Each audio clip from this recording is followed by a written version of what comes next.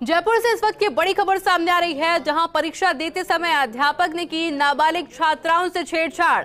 हरमड़ा थाने इलाके के एक निजी स्कूल की घटना सामने आई, जहाँ आठवीं बोर्ड परीक्षा देते समय अध्यापक ने की तीन छात्राओं से अश्लील हरकतें।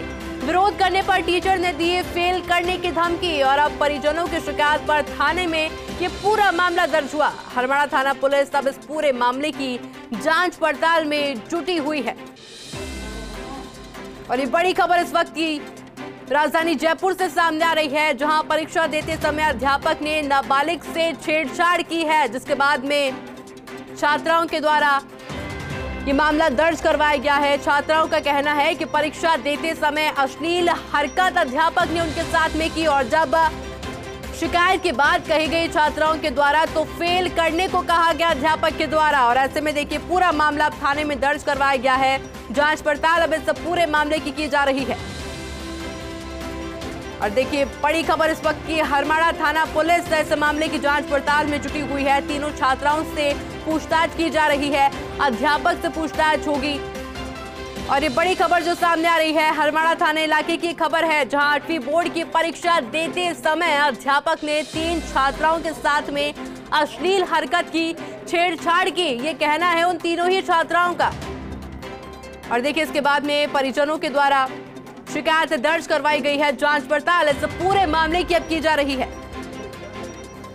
और इस खबर पर अधिक जानकारी के लिए हमारे साथ सहयोगी सत्यनारायण फ़ोन लाइन पे जुड़ चुके हैं। सत्यनारायण क्या कुछ जानकारी पूरी खबर को लेकर प्रशासन का क्या कहना है?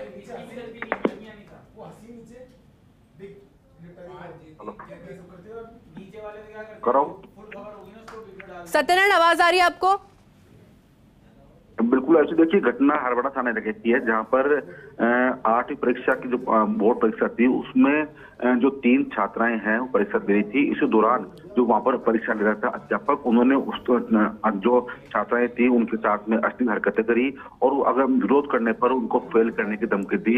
लेकिन छात्राएँ हिम्मत वाली थी, उन्होंने बाहर आके अपने परिजनों को और जो संचालक था, स्कूल संचालक था, उसको उसकी शिकायत करी और अब जाके जो हरमाड़ा थाना है, वहाँ पर मामला दर्ज हो चुका है। फ़िलहाल जो आरोपी टीचर है, उसको रिटेन कर लिया गया है, उससे पूछताछ की जा रही है। बताया जा रहा है कि उसके पहले भी इस प्रकार के दो तीन केस लगे हुए हैं। फ़िलहाल पुलिस के आलाधिकारी आरोपी से पूछताछ कर रहे हैं। उसके बाद में पूछताछ के बाद उसको गिरफ़्तार किया जाएगा योशी किस वक्त की घटना है ये, सत्यनारायण?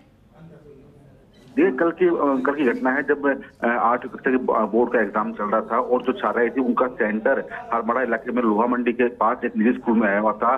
परीक्षा देते समय जो अध्यापक था उसने छात्राओं के साथ अश्लील हरकतें करी और तीन जो छात्राएँ थी उनके साथ में अश्लील हरकतें करी। जब छात्राओं ने इसका विरोध किया तो अध्यापक ने उनको फेल करने की धमकी दी और उसके बाद में वो क्लास से बाहर आ गया। लेकिन जो छात्राएँ थी उन्होंने परीक्षा खत्म होने के बाद, अपने परीक्षा पूरी करने के बाद में उन्होंने बाहर आकर अपने परिजनों के बात बताई और परिजनों के। शिकायत पर जो मामला दर्ज हुआ। फ़िलहाल पुलिस ने तत्पर कार्रवाई करते हुए जो आरोपी टीचर था उसको डिटेन कर लिया है। उससे पूछताछ की जा रही है। उसके बाद उसकी गिरफ्तारी की जाएगी आयुषी। जी सत्यनारायण आपका बहुत बहुत शुक्रिया हमारे साथ जुड़ने के लिए और तमाम जानकारी हमारे साथ साझा करने के लिए।